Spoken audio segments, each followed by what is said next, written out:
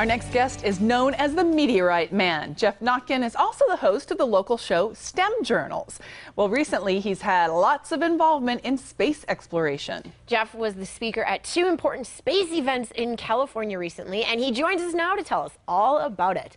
Geoff, thank you so much for joining us. My pleasure, ladies. I always love being on the show. It's great to see you. We love having you. Thank you. Especially because it's I your know. last day. I want to wish you every success in your new venture. It's been such a pleasure working with you. Thank you, sir. I know Geoff got to co-host when you were off getting married. I know that's Geoff was telling me. co-hosted with me. And we did the comet experiment.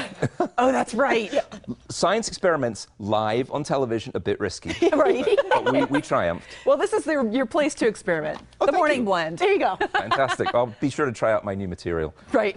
there you have it. All right, so tell us about the, the experience that you had giving those two keynote speeches. Congratulations. Thank you very much. I was at Space Fest in Pasadena, which celebrates the history of spaceflight, and many of our great astronauts were there. And then I went to the International Space Development Conference in LA. Thank you for doing oh, that. Oh, my pleasure. so this is nuts and bolts. What are we doing with space? And I gave a lunchtime keynote address, and seated there, right in front of me, was the mighty Buzz Aldrin, the second man to walk on the moon. So no pressure. Yeah. And I, I introduced him and I said, "What an honor! He's one of my one of my personal heroes." And I said, "Buzz, if I get any of the science wrong, you be sure and let me know because he's he's a brilliant scientist Cute. as well." Well, whenever we talk about something like this, people will always say, you know, what is the impact of humans getting involved in space exploration?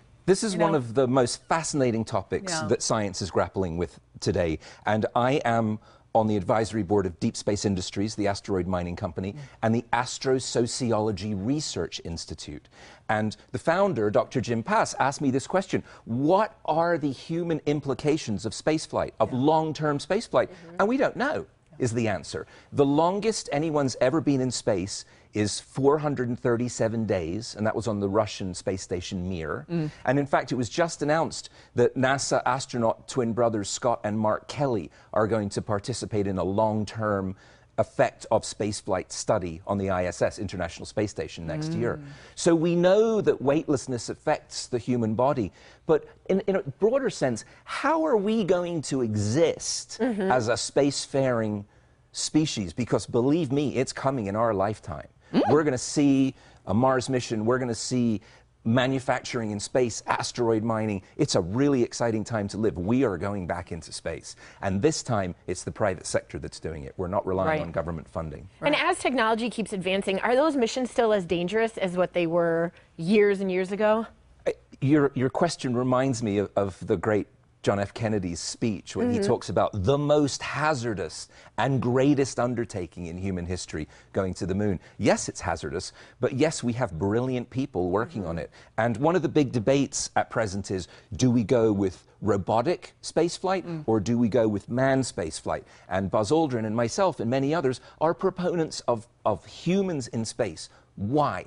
Because we need to, because it's in our nature to Right. explore and to make ourselves better and to learn about the universe around us. And one day in the distant future, the Earth will no longer exist. It'll be swallowed up by the sun. Mm. So if we're going to survive, we have to colonize space. It's not a could be thing, it's a must thing. Well, we know that you love to explore and you always bring us such great props. and I'm really curious that you've got these rocks, you know, and then you have half a grapefruit.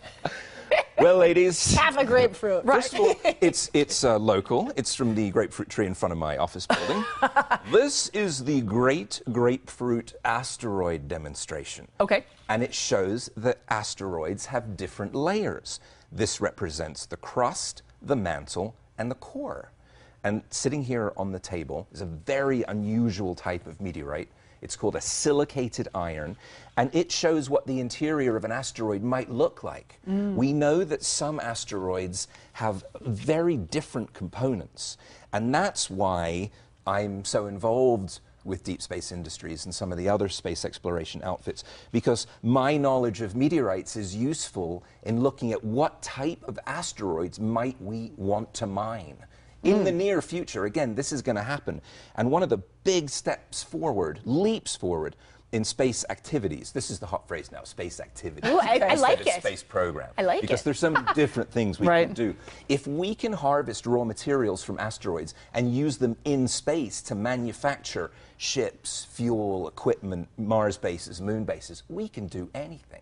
That's the way it's headed. That's really cool. And really quickly, because we're running out of time, people can come and see you tonight. It's true. One of my favorite charities is the Hope Animal Shelter here in Tucson. I've been a supporter of them for many years. They're Tucson's only no kill shelter. And they're having a fundraiser tonight, 5 p.m., at the beautiful Cushing Street Bar and Restaurant. So please come down and say hello and save a cat or a dog. Tis There you a go. noble pursuit. There you have it. Yes, it is. Thank you very much, Geoff Notkin. Always a pleasure to have you on. Thank you. All right, and you can catch all of the newest episodes of Geoff's show STEM Journals on Tuesday night at 8 p.m. on Cox 7. To learn more about all of his episodes, you can go online to cox7.com slash STEM Journals. And to learn more about Geoff, because who doesn't want to know more about Geoff? I do. Go to notkin.net. And stick around, the Morning Blend. We'll be right back with what's happening next week on the Morning Blend. But first, here are some of our favorite moments we got to share with Sally.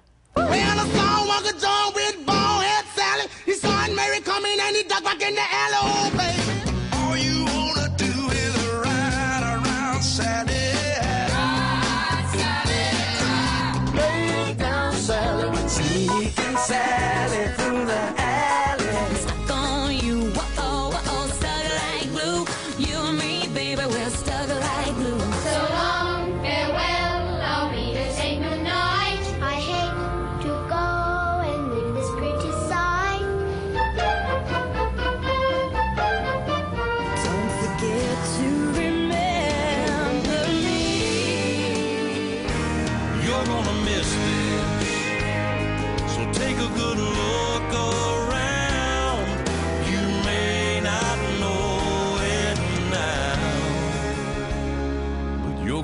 Gonna this. So take the photographs and still frames in your mind. Hanging on a shelf in good health and good time.